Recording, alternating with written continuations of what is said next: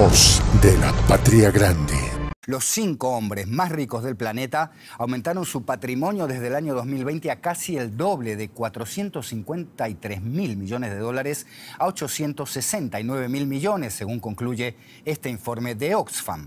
Al mismo tiempo, casi 5 mil millones de personas, el 60% más pobre de la humanidad, ha perdido en conjunto unos 20 mil millones de dólares de patrimonio. Y por otra parte, este, el año 2023, el que acaba de terminar, puede haber sido el año más lucrativo de la historia para los grandes consorcios que han recaudado ganancias aparentemente sin precedentes. 148 de las mayores compañías del mundo ganaron en los 12 meses anteriores a junio de 2023 1,8 billones con B de bueno de dólares de ganancias, según Oxfam. informe de Davos de Oxfam Y sin duda, de hecho, eh, hay una corresponsabilidad ahí.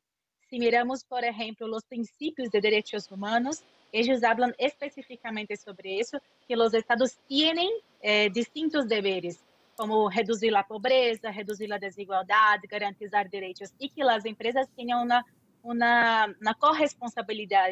Se por um lado as empresas estão causando todo isso com o avanço dos oligopólios e dos monopólios, por outro lado, o Estado não está cumprindo com seus deveres ao permitir que se avance essa concentração no mercado e os monopólios, a destruição ambiental, a redução eh, da garantia de direitos. Então, há que demandar ao Estado para que cesse o poder de monopólio das grandes corporações hay que construir nuevamente esa fortaleza de los estados. Después de años eh, de políticas neoliberales en distintos países, tanto el norte global y especialmente en el sur global, sin duda los estados están completamente destrozados. Hay que revitalizar los estados, garantizar financiamiento adecuado para que ellos puedan entonces garantizar los servicios públicos.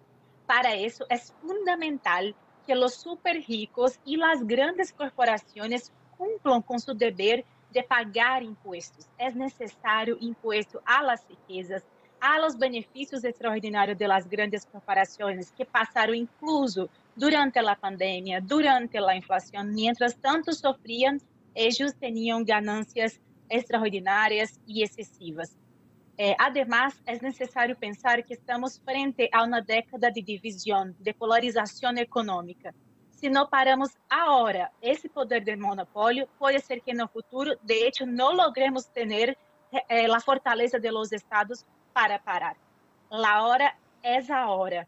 Incluso porque as grandes corporações estão, sua maioria, em, com, com, com sua base em los países do norte global, donde aún hay unas democracias fortalecidas. Si no aprovechamos con la población, especialmente del norte global, demandando a sus gobiernos que, re, que controlen y regulen me, grandes corporaciones y eviten el monopolio, en pocos años es muy probable que ya no logremos más. Esperemos reaccionar antes del punto de no retorno. Graciela Custodio David, coordinadora de Justicia Económica para Oxfam en América Latina y el Caribe. Gracias. Hasta cualquier momento. Voz de la Patria Grande.